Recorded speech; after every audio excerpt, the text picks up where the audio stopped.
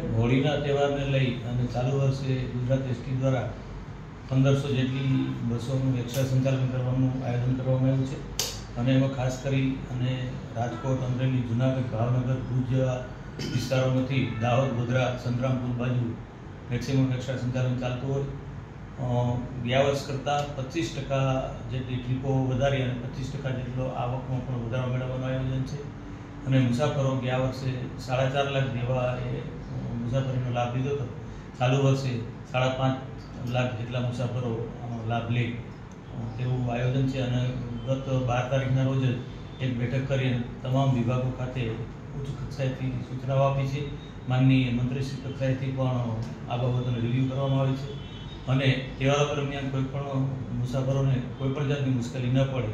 તે માટેનું તમામ વિભાગો ખાતેનું આયોજન છે, સુનિશ્ચિત કરી છે. અસર ખાસ કરીને જ્યારે હોળીનો તહેવાર હોય છે, ત્યારે રાજસ્થાન તરફના જે લોકો અહીંયા રહેતા હોય છે, એને આંતરરાષ્ટ્રીય સંચાલન ચાલુ જ છે અને એની અંદર જે મુસાફરો છે, તેમને દર વખતે આંતરરાષ્ટ્રીયનો પણ લાભ મળે જ છે. અને એમાં પણ એક્સ્ટ્રા સંચાલન જેવું કામ ચાલુ હોય છે. આ મોટાભાગના જે મુસાફરો છે, તેનો ફ્લો જોતા સૌરાષ્ટ્રમાંથી જે પંચમહાલ બાજુ, ગોધરા બાજુનો વિસ્તાર છે, ત્યાં મેક્સિમમ ટ્રાફિક રહેતો હોય છે.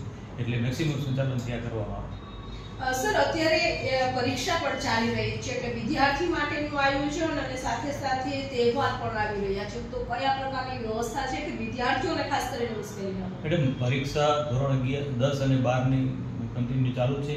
આનું આયોજન આ અગાઉ કરી ચૂક્યા છીએ અને રૂટ જિલ્લાના શિક્ષણ અધિકારીશ્રીઓ તથા શિક્ષણ વિભાગ સાથે પરામર્શ કરી અને અમે આયોજન કરી ચૂક્યા છે. દૈનિક બસો પચાસ જેટલા વધારાના વાહનો એમાં પણ અમે પ્રોવાઈડ કરીએ છીએ. એટલે બંને આયોજન અલગ અલગ છે. કોઈ પણ વિદ્યાર્થીને અત્યાર સુધીના દિવસોમાં એક પણ દિવસ કોઈ ફરિયાદ મળી નથી. અને આગામી દિવસોમાં પણ આ સંચાલન એક્સ્ટ્રા સંચાલન થતાં પણ કોઈ મુશ્કેલીઓ ઉપસ્થિત નહીં થાય. તેવી સો ટકા અમે આયોજન કરી